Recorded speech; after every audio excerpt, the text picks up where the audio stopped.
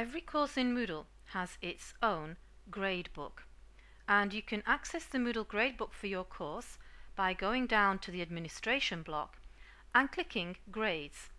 Students see this link as well and they can see their grades for that particular course.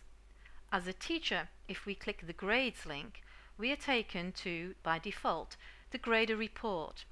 And here we see down on the left the list of our students. We only have one here and then any gradable activities which we've set up in the course.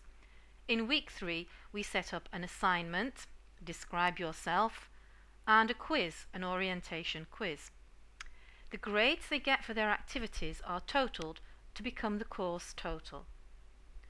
Moodle's gradebook is very powerful and what you see will depend on the settings of your administrator. So for example, to access other elements of the gradebook here, we have a drop-down menu, but you might have yours in tabs with these elements in tabs. We'll just look at a few items. User report, for example, allows you to select one particular student and just focus on their grades. Another element which is useful is the categories and items view. If your class has done some work outside of Moodle and you would like them to, to be graded within Moodle, then you can add it as a manually graded item from here.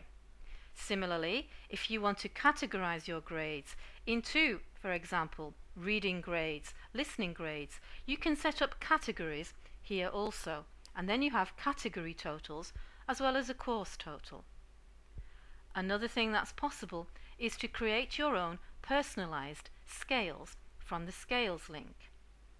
So instead of using Moodle's default 1 to 100 scale, you could create a word scale, for example, pass, merit and distinction, or in my French course, French words according to their achievements.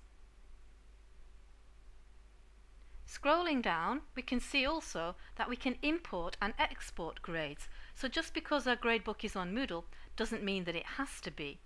And we could export the grades into a spreadsheet and then edit them in our spreadsheet and even print them off.